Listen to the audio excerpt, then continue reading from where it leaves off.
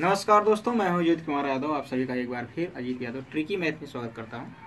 दोस्तों, आज का जो हमारा वीडियो है, नाव और धारा। नाव और धारा का सेकंड पार्ट है। हमने आपको पहले बताया था कि नाव और धारा का जो प्रश्न है, अगर आपको अच्छे ढंग से पढ़ना है तो हमारे channel Arijit Ajit Yadav tricky math पर जा करके यूट्यूब पर आप खोल करके नाव और धारा पार्ट वन पार्ट टू एकदम सीरियल नंबर से है, उसको आप अच्छे से पढ़ करके आसानी से बड़े अच्छे तरीके से नाव और धारा का जो प्रश्न होता है, परीक्षाओं में पूछा जाता है, उसको आप कर सकते हैं। तो दोस्तों, ये पार्ट है टू है नाव और धारा का, आज इसमें हम बात करेंगे किस प्रकार से नाव और धारा का टू पार्ट हल किया जाता है, दूसरा पार्ट तो इसमें हम सबसे पहले आपको बेसिक चीज़ें पहले पार्ट में बताया हूँ, फिर दूसरे चीज़ दूसरे प्रश्न में आपको कुछ अलग ढंग का जो प्रश्न बनता है, उसके बारे में हम देखेंगे। तो देखते हैं, पहले आपको हम देखा दे किस प्रकार से इसमें प्रश्न बनाया जाता है। यहाँ पर लिखा गया है, यदि शांत जल में नाव की गति यक्स किलोमीटर और धारा की गति वाई किलोमीटर हो तो धारा की दिशा में डी दूरी तय करने में लगा समय। डी दूरी तय करने में लगा समय। मतलब कि धारा की दिशा में डी दूरी तय करने में लगा समय, उसका क्या फार्मूला होगा? और धारा की विपरीत दिशा में डी दूरी तय करने में लगा समय। क्या होगा? यहाँ पर दिया क्या गया गया है कि शांत जल में जो नाव की चाल है यक्स किलोमीटर प्रति घंटा और जो धारा की चाल, यानी कि धारा की जो प्रभाव है, वो प्रभाव, वो आपका वाई किलोमीटर प्रति घंटा है की दर से बहती है। तो शांत जल में, शांत जल में, शांत जल में तय की गई दूरी आपको दिया है यक्स किलोमीटर प्रति घंटा तो डी दूरी तय करने में लगा समय। डी दूरी तय करने में लगा समय। और किस दिशा में? धारा की दिशा में। धारा की दिशा में। अगर चलना चाहते हैं, यहाँ लिखेंगे पहला प्रश्न धारा की दिशा में लगा समय।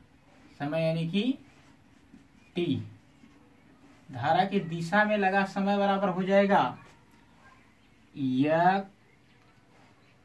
डी बटे यक्स प्लस वाई डी बटे यक्स प्लस वाई अभी इस पर हम प्रश्न लेकर के आपका कॉन्सेप्ट क्लियर करेंगे।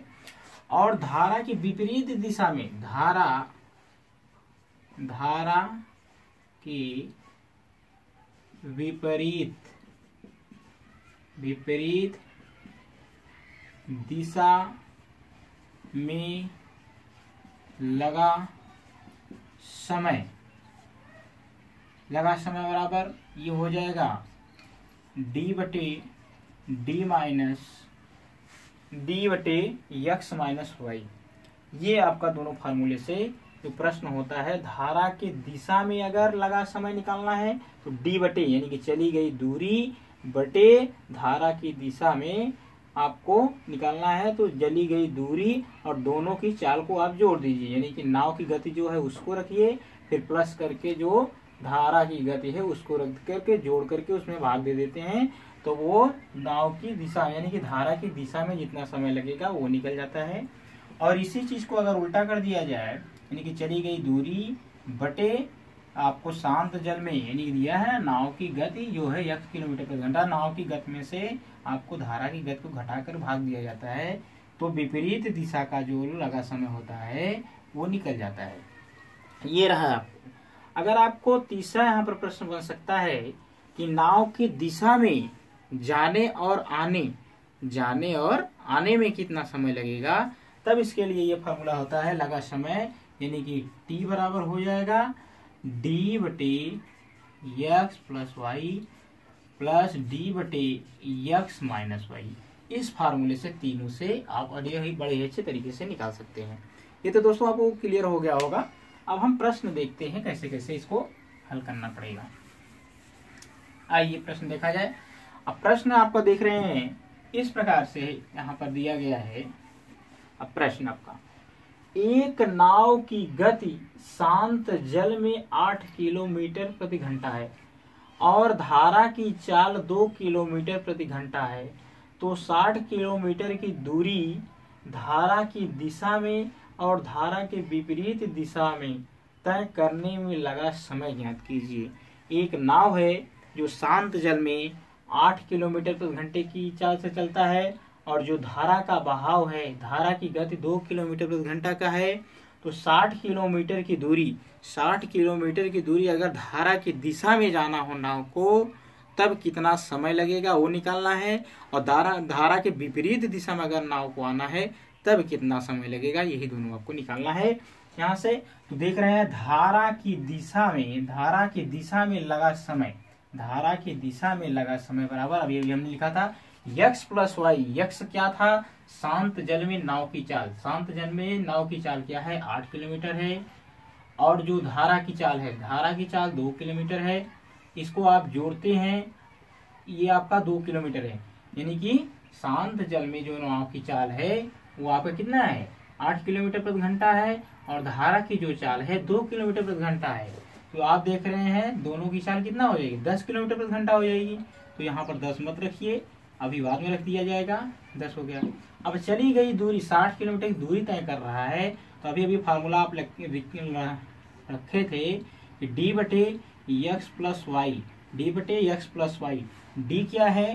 यानी कि चली गई दूरी, साठ किलोमीटर की दूरी। कितने समय में तय करेगा वो? साठ, यानी कि अभी दस आया था। दस से भाग दे देंगे तो छ घंटे आपको लग जाएँगे छ घंटे लग जाएँगे धारा की दिशा में, नाव को तय करने में दूरी अब दूसरा प्रश्न दोस्तों बनता है कि धारा के विपरीत दिशा में, जो धारा के विपरीत दिशा में देख रहे हैं, धारा के विपरीत दिशा में इसका हम लिखे थे धारा के विपरीत दिशा में डी बटे यक्स माइनस वाई तो डी क्या है आपका साठ है यक्स क्या है आपका आठ किलोमीटर प्रति घंटा? दो है। इसको अगर भाग देते हैं तो ये साठ हो जाएगा आपका यहाँ से अगर भाग दिया जाए तो ये घट जाएगा आपका छः हो जाएगा, कट जाएगा तो दस घंटे निकल जाएगा। ये दस घंटे का समय धारा की विपरीत दिशा में लगेगा।